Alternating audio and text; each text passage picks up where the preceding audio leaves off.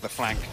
Coming deep into spawn now and it becomes that safety net if they get weird again, but crashies will fall now and all but see Victor will find one, but solo HP now. One enemy remaining. This is the team that looked like so good against like Sentinels. Yay! Still looking What? good.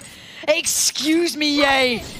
Got his ult, but it is against Big Boy Nat, and Yates gonna get that to halfway. You know it is. Now, Nat, what are you gonna do about this though? Okay, that's the plan. Okay, forces him off, and the spam comes in. He goes right back out. No way. Yay! Yay! What can you do? The right click. Nat, he's just doing the. What am I watching? The frag. What am I watching? He's got the defuse, Lauren. Yay has just clutched that round. That was what? Was that a one v three or four? That was 1v4. Roll it back. Give me this. Okay, fair enough. You know, d3ffo's still fighting towards CT. The the Chronicle? Are you kidding me right now? What the hell was this? Yes, oh Yeah. oh my god. Yep. On the other side, they're just in pieces. You just absolutely fed a 1v4 in a grand final. Like, yeah, guess